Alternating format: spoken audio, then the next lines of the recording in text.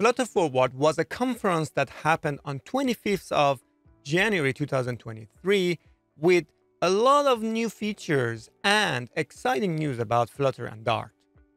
Let's take a look at the top 10 highlights of Flutter Forwards quickly in this video.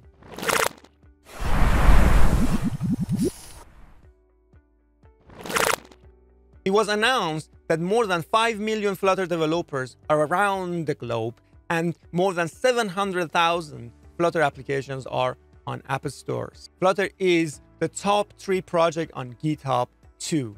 Dart 3 Alpha is available to be tested out. So language features such as records and patterns are going to be available in Dart 3 Alpha. This is a nice language features that you can give it a try right now and it makes your syntax way better. Dart 3 will come with 100 null safe. We already had null safety in Dart 2. However, now in Dart 3, the language will be 100% null safe to follow and finish the journey of null safety. It makes the language produce less machine code, makes the language performance way better. Dart already support different processors architecture like, like ARM or Intel 60 or 32 bits. But now Dart is going to be compiled to RISC-V and WASM architecture as well. One of the greatest features that was announced in Flutter Forward is to compile web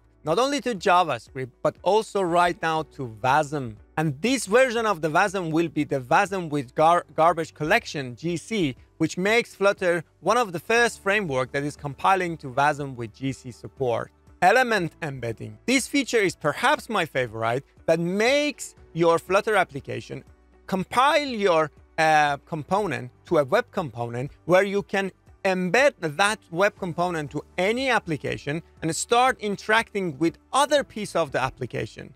It was not possible before because you had like a sandbox with Flutter. You couldn't really interact very easily. But now that makes a feature that you can compile to web component and start interacting with native HTML and CSS in your application. Pixel shaders are going to be supported on Flutter Web 2. This is an exciting news for those who wants to make especially complex animations. News Toolkit is around the corner and a new toolkit from Flutter team that makes you to develop news application much faster, up to 80% time saving of your development.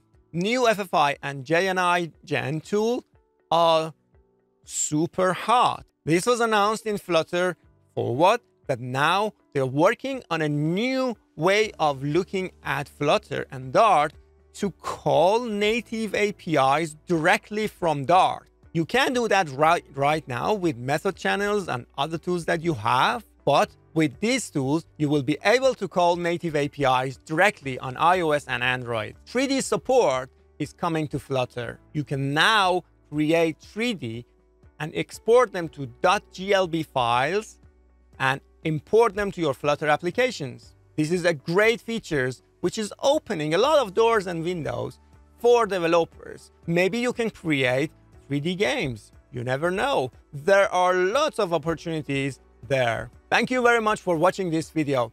I hope you enjoyed Flutter Forward summary, the top 10 features that was announced in Flutter Forward. But let me know in the comment below, what is your favorite feature which was announced and you are looking forward to see those features in your applications soon.